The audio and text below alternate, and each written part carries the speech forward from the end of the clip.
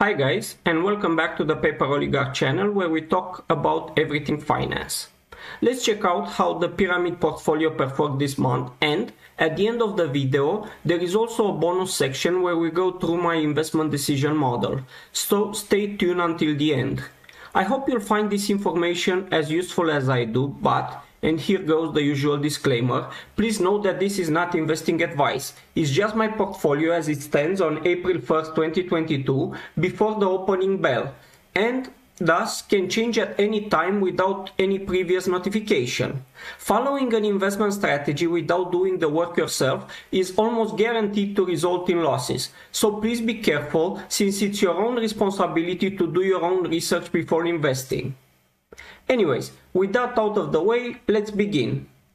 This month I have only one new purchase, which is uh, Coinbase, and it was because I wanted to explore the idea of crypto shovels. If you're familiar with the gold rush, there is a story that the people that got rich were those that were selling the shovels, not those finding the gold. While this might be technically untrue, the message is that you don't really need to know who will be discovering the gold, in our case which cryptocurrency will be successful, if you are the one selling the shovels to everyone. Basically, the idea is that Coinbase should do well no matter which ones perform and or disappear completely. While this investment is uh, included here in uh, my growth portfolio, it can also be semi-asymmetric risk rewards. So it's kind of shooting two birds with one stone. The next big uh, change is Nuclearelectrica. If you remember last month, I almost sold completely my position in the company. The ticker is SNN on the Romanian Stock Exchange and this was just before the price collapsed due to the Russian invasion of Ukraine. So one of the six hedge scenario that I predicted Basically, I asked what happens if the stock goes up and the market goes up as well? What happens if the stock goes up and the sector goes up as well? What happens if the stock goes down but the sector goes up, etc. The scenario that materialized was the the stock going down. So me selling between 42.5 and 46.5 allowed me to buy back my position somewhere between 20, 31 and 37.5, resulting in a nice profit. There is of course a K-fit, like uh, it rebounded uh, much too quickly and I could have bought more, but as a friend Borat would say, overall it was a great success. Usually, I don't try to time the market, but in my portfolio, the way it was set up at the time, this play was pretty obvious and there was very little down downside. The war wasn't necessarily obvious, but uh, something happening which will cause the stock to go down was. Other than those two positions, I just dollar cost average some of my other positions on the lows the biggest uh, change being the fact that uh, Aquila is no longer on the short watch list, where if you remember, I buy somewhere under a hundred dollars only to keep an eye on uh, a certain asset. But now I have a much more uh, significant position in it. I also bought some gold as well as uh, bought some of the other companies that I was invested in. This uh, resulted in uh, the current portfolio, which you can see it here. You can check it out with uh, the portfolio from uh, last month, but uh, things are uh, looking a little bit better. We are more in the green than last month, but nothing really impressive to write home about. One thing that I'm uh, truly happy about is that I feel comfortable keeping this portfolio for the next 20 years if that is the case. By the way, a joke that I heard recently goes something like this. You know you're serious when no matter what your favorite color was before you started investing, now your favorite color is green. Anyway, a bit cringe, but I liked it. So, the portfolio allocation is as follows. There were no changes to the asymmetric risk return assets. Actually, they went a little bit up, but not enough to make a change in the percentage. There is a significant change in growth stocks, and this is mainly with the Coinbase play as well as the dollar cost averaging. Uh, also, there is the increase in value stocks with uh, nuclear electric repurchase. Actually, the bonds and the real estate, I did not uh, tamper with those allocations, but because uh, the others went up, they actually went down a little bit. I also bought a little bit of gold, and of course, the cash position is uh, significantly down because I used cash to buy on the lows. Thank you for watching this video. If you like it, please don't forget to like and subscribe. And if you have any questions, please hit me up in the comments. As promised at the beginning of the video, now we'll briefly go through my investment decision model, which I called 1.0 because it always, very slightly, changes for each of the assets that uh, I uh, analyze. So you should see it more as a starting point rather than a fixed investing paradigm. Please also check the description of the video for some attached resources exploring the investment model. Without further ado, let's begin.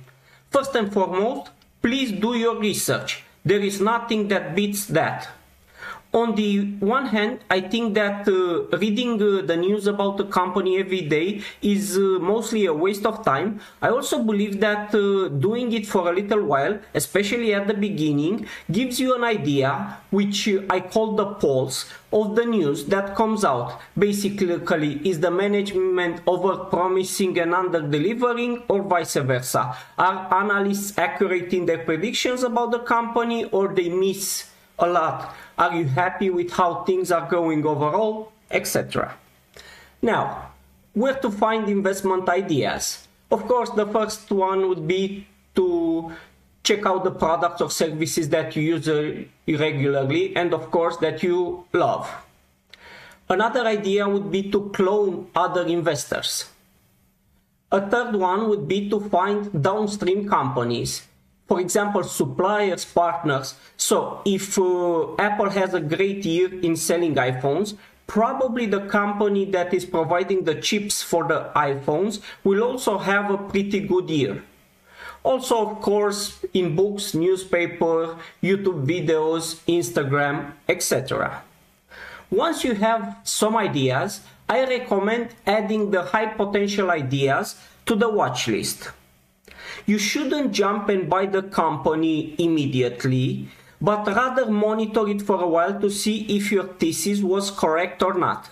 For example, this is part of my current watch list. As you can see here, I have assets from uh, 2019 that I haven't yet bought a single share of, and of course companies from 2022 that I bought, and vice versa. So there is no predefined period, but you need to watch it for a little bit at first.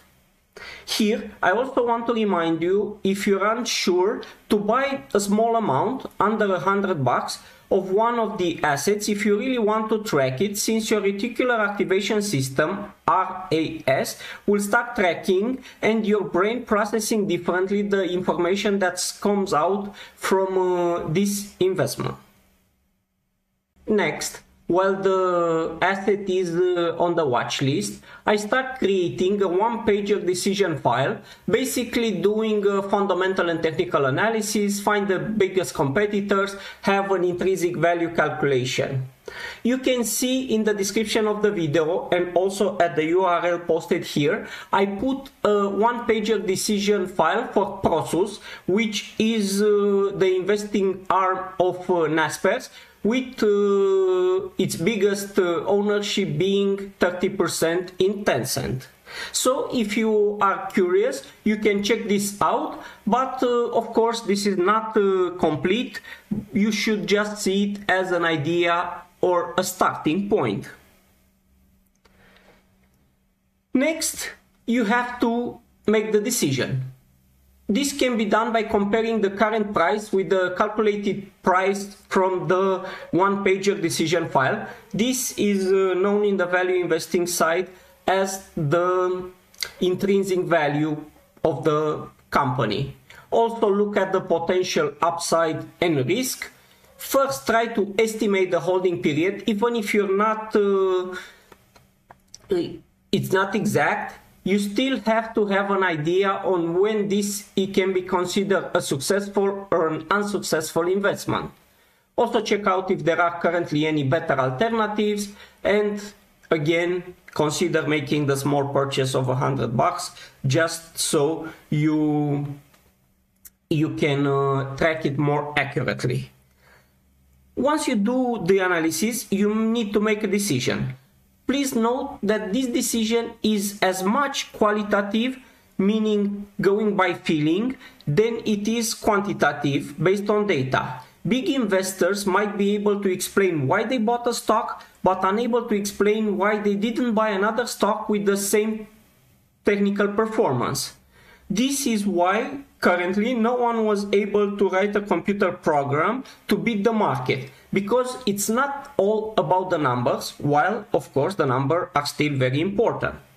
And last but not least is to buy and hold. Once you made your decision to buy an initial position, make it as high as you feel comfortable with but also try and leave some room for dollar cost averaging if the market initially goes against you. So if you plan to own 5%, first try to buy somewhere around 3% and then dollar cost averaging to 5% in the worst case scenario and in the best case scenario usually if it goes up by 15 to 20 percent i also have uh, a little bit of uh, dollar cost averaging to increase my position while still keeping a healthy margin in case the price goes down again. This is what i find it suits my personality.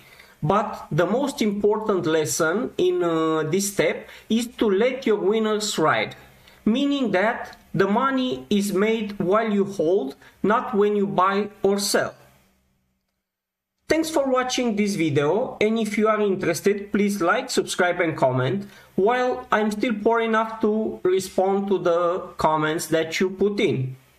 By the way, I plan to do a video on the importance of having an idea partner like uh, Buffett and Munger, George Soros and Stanley Druckenmiller, Nick Sleep and Qais Zakaria, etc. But I think that with the current technology, this can become a little bit irrelevant and we can model this in a YouTube comment section. Anyways, if you are interested in our overall strategy and approach, please check out our older videos as well and have an awesome day and see you next time.